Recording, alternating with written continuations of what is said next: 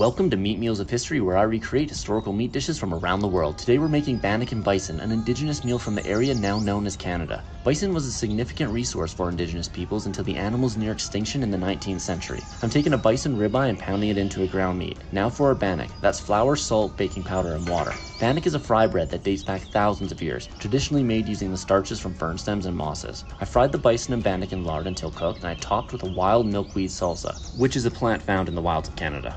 And now we get to taste it. Mmm.